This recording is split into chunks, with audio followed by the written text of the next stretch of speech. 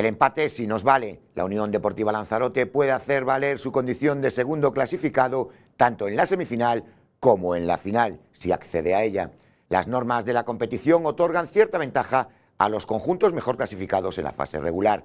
En caso de finalizar empatados al final del partido de vuelta, los rojillos serían el equipo clasificado para la final. Cualquier empate les favorece y les permitiría acceder a la siguiente eliminatoria sin necesidad de jugar ni prórroga ni penaltis.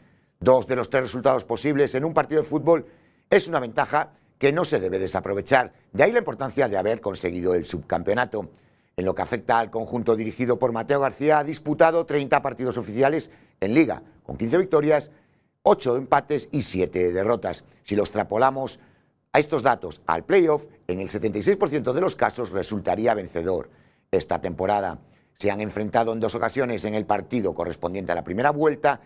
Los de Ángel López se llevaron los puntos en la Ciudad Deportiva, venciendo por 2-3. Y en la segunda los de Mateo García arrancaron un empate en Los Olivos. Solo son datos. Y, en esta ocasión prefiero quedarme con las sensaciones que transmite el equipo. Y además ¿Por qué no decirlo? Nos valen dos de los tres resultados posibles, que también es un dato.